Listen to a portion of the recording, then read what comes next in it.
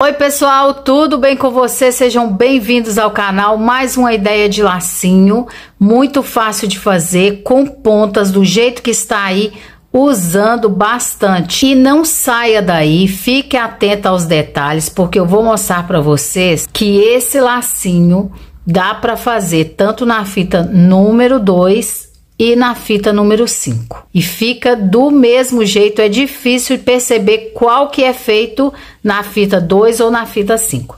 Espero que vocês gostem da dica e segue aí todo o passo a passo. Eu vou utilizar dois pedaços da fita número 2, medindo 60 centímetros.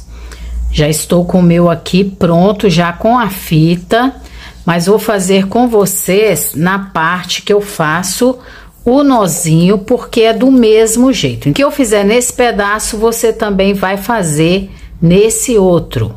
Para o acabamento, eu vou utilizar um pedaço da fita número 2, medindo 20 centímetros. A gente sempre tem que cortar aqui o excesso, mas eu prefiro fazer ele um pouco maior, porque não corre o risco de faltar, certo? Eu dobro aqui no meio, ó. Isso aqui eu fiz naquela parte aqui. Cortei um metro e vinte, dobrei ao meio. Na metade, aqui, ó, eu coloco a fita dupla face.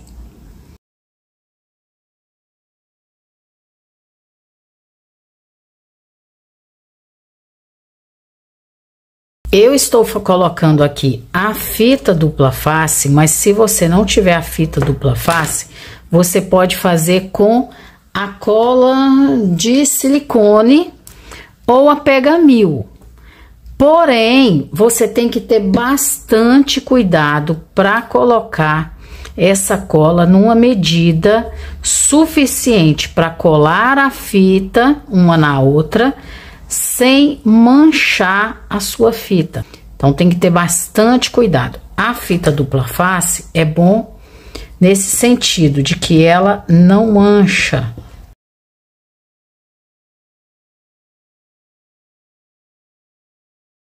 Depois que eu coloquei a fita dupla face, eu vou tirando assim aos poucos, ó, e vou dobrando já posicionando a fita em cima da outra. Vou tirando aos poucos para não ficar torto. Porque assim, ó, a gente vai colocando com bastante cuidado. Ó, passa a mão. Ficou aqui tudo certinho. Eu venho com a chapinha e passo assim, ó, bem rapidamente Se você não tiver a chapinha, você pode usar o ferro de passar. Passa com bastante cuidado, dependendo da fita, você até coloca um paninho fininho em cima dela para passar, se você tiver receio, né? Para o ferro não colar nela. Tem que passar bem rápido, porque senão ela pode enrugar. Feito isso, então, ó, nas duas partes, já está pronto para a gente começar a fazer o nosso laço. Vou deixar aqui o acabamento no cantinho. Vou pegar a minha fita aqui, ó, de 60 centímetros.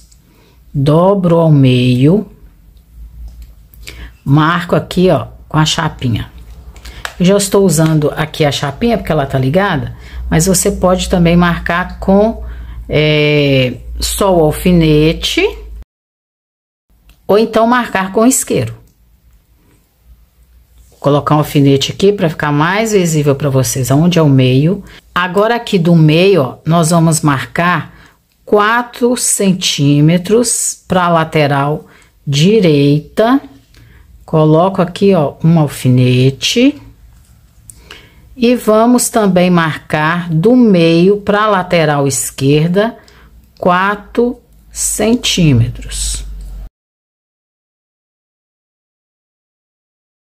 Vocês sabem que está em alta esses modelinhos e esse aqui é bem delicado para quem quer entrar na onda aí, na tendência, mas não quer um laço grande. Esse aqui é um tamanho ideal, ele fica com aproximadamente 8 centímetros. Na fita de gorgurão, vocês podem aí me perguntar se dá para fazer. Dá para fazer. Só que como eu não fiz, eu não sei se tem a necessidade de colocar duplo. Se você for fazer então de gorgurão, faça o teste com uma fita só e veja como que vai ficar a textura, se você vai é, gostar, se não vai ficar muito mole, né?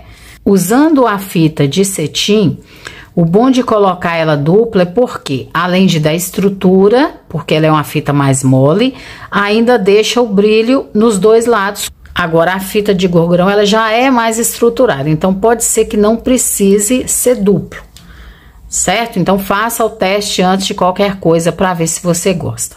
Agora, é muito simples, ó, nós vamos dobrar aqui, ó, no limite do nosso alfinete e trazer aqui para o meio. Por enquanto você só dobra, pode colocar um bico de pata aqui para segurar, para não sair do lugar. E aqui, ó, vem no limite do outro alfinete e dobra para cá. Isso aqui, ó, que vai ser a dobradura do nosso laço. A gente tira esses alfinetes você passa a mão assim, ó, para tirar essa marca que geralmente o alfinete deixa na fita, mas você passou a mão, ele ele já sai. Nós vamos olhar, conferir direitinho se é isso mesmo que nós queremos. Ajeitar aqui, ó, no meio, onde vai ser a costura. Se você quiser marcar melhor aqui o meio, você pode colocar um bico de pato assim para não sair nada do lugar. Dobra aqui, ó, para você saber direitinho aonde você vai ter que alinhavar. Se você quiser fazer também colado, é, com a cola quente ou a cola de silicone, você pode fazer, mas eu não gosto muito não. Eu prefiro a costura. Que são quatro pontinhos que eu coloquei, apesar de ser uma peça pequena. Se você quiser fazer é, o alinhavo de outra forma, então você faça aí do seu jeito.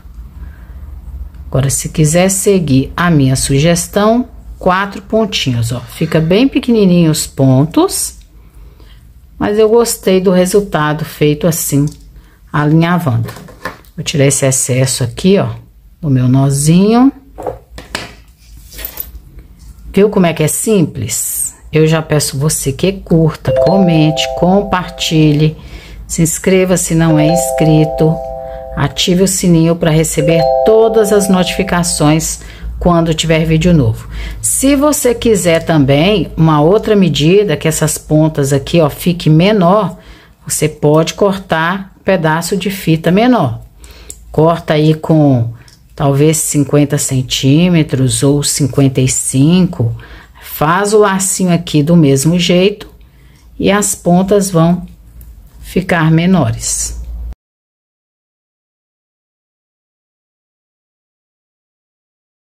Eu gosto de já cortar as pontas aqui, ó, antes de colocar no bico de pato. Vou mostrar para vocês como é que eu faço. Ó, eu encosto aqui, ó, junto aqui as duas partes dessa forma.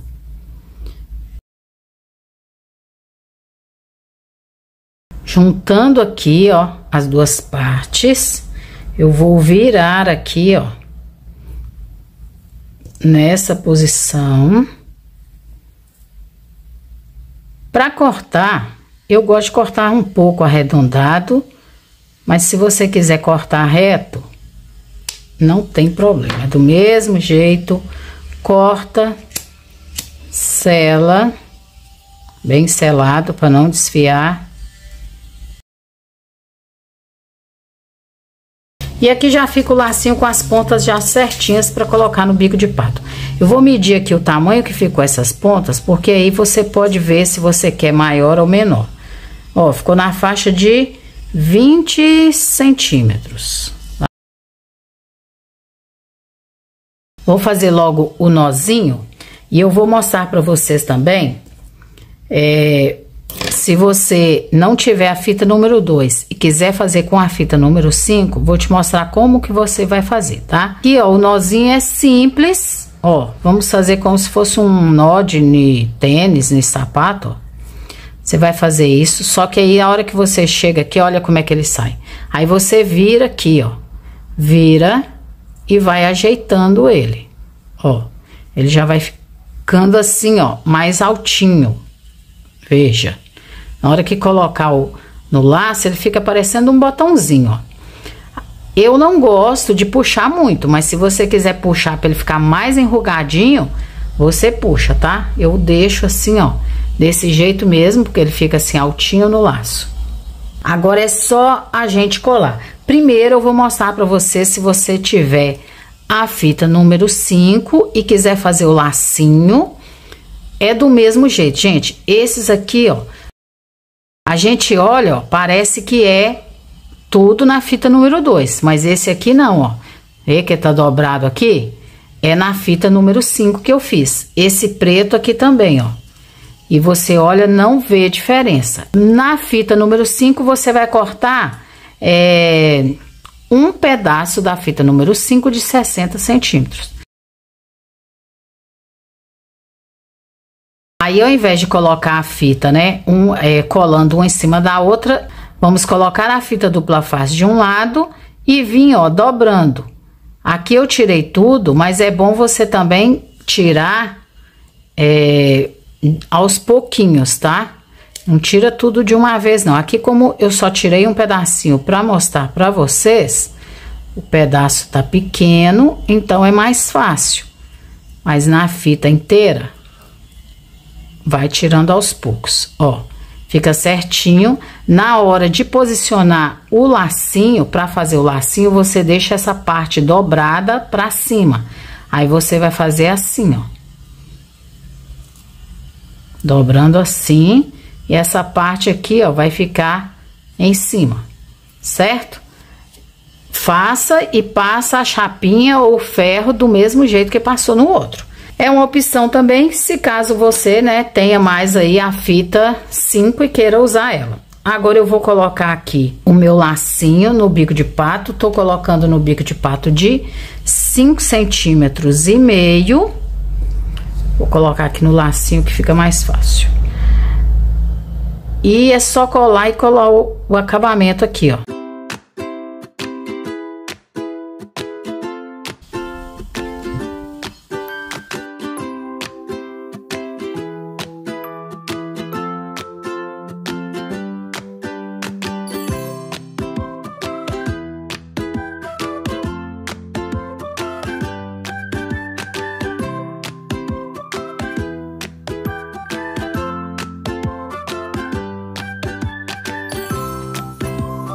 Aqui o lacinho já finalizado, rapidinho, muito fácil de fazer. Eu espero que vocês tenham gostado da ideia de hoje.